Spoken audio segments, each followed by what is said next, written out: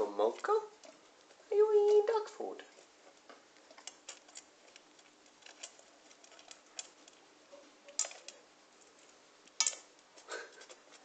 You're a strange cat. You know you got some food upstairs. Oh, it was a bit hard, didn't it?